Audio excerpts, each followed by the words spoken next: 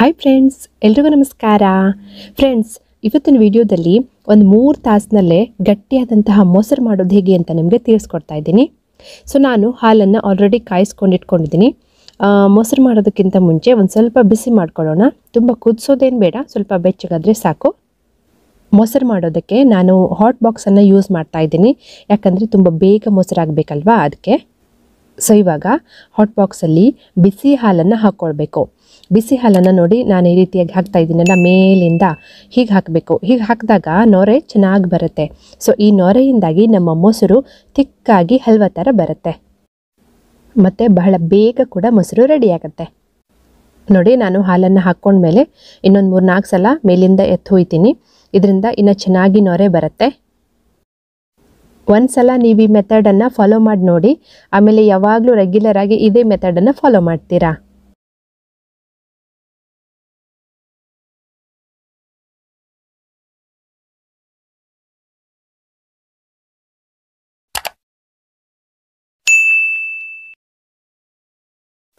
ನೋಡಿ ಇವಾಗ ಹೆಪ್ ಹಾಕೋದಕ್ಕೆ ಹಾಲು ರೆಡಿಯಾಗಿದೆ ಹೆಪ್ಪನ್ನು ಡೈರೆಕ್ಟಾಗಿ ಹಾಕಬೇಡಿ.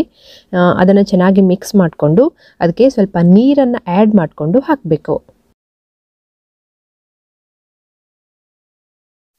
ನೋಡಿ ಇವಾಗ ನಮ್ಮ ಹೆಪ್ಪು ಕೂಡ ರೆಡಿಯಾಗಿದೆ ಸೊ ಈ ಹೆಪ್ಪನ್ನು ಹಾಕೋದಕ್ಕೂ ಕೂಡ ಒಂದು ವಿಧಾನ ಇದೆ.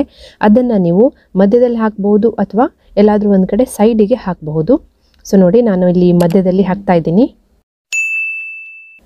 ಹಾಕಾದ್ಮೇಲೆ ಅದನ್ನು ಸುಮ್ಮನೆ ಹಾಗೆ ಬಿಟ್ಬಿಡಿ, ಅದನ್ನು ಡಿಸ್ಟರ್ಬ್ ಮಾಡೋದಕ್ಕೆ ಹೋಗಬೇಡಿ. ಆಮೇಲೆ ಒಂದು ಬಟ್ಟೆಯನ್ನು ತಗೊಳ್ಳಿ. ನೀವು ಯಾವುದಾದ್ರು ಟವೆಲ್ ತೊಗೊಳ್ಬೋದು, ಯಾವುದಾದ್ರೂ ವೇಸ್ಟ್ ಬಟ್ಟೆ ತೊಗೊಳ್ಬೋದು. ಸೊ ಈ ಬಟ್ಟೆ ಮೇಲೆ ನಮ್ಮ ಈ ಹಾಟ್ ಬಾಕ್ಸನ್ನು ಇಡೋಣ.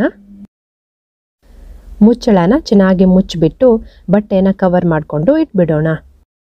ಸೊ ಈ ರೀತಿಯಾಗಿ ಮಾಡಿಟ್ಬಿಟ್ರೆ ತುಂಬ ಬೇಗ ಒಂದು ಮೂರು ಗಂಟೆಯಲ್ಲಿ ನಮ್ಮ ಗಟ್ಟಿಯಾದಂತಹ ಮೊಸರು ರೆಡಿ ಆಗುತ್ತೆ. ಬೇಸಿಗೆಗಾಲ ಬಂತು, ಮೊಸರಂತೂ ಬೇಕೇ ಬೇಕಾಗತ್ತೆ. ನೀವು ಈ ಮೆಥಡನ್ನು ಫಾಲೋ ಮಾಡಿ ನೋಡಿ, ತುಂಬ ಬೇಗ ಮೊಸರನ್ನು ರೆಡಿ ಮಾಡ್ಕೊಳ್ಬಹುದು. ನೋಡಿ ಫ್ರೆಂಡ್ಸ್ ಇವಾಗ ಮೂರು ಗಂಟೆ ಆಗಿದೆ. ನಾನು ಇದನ್ನು ಓಪನ್ ಮಾಡಿ ತೋರಿಸ್ತೀನಿ ಹೇಗಾಗಿದೆ ಅಂತ.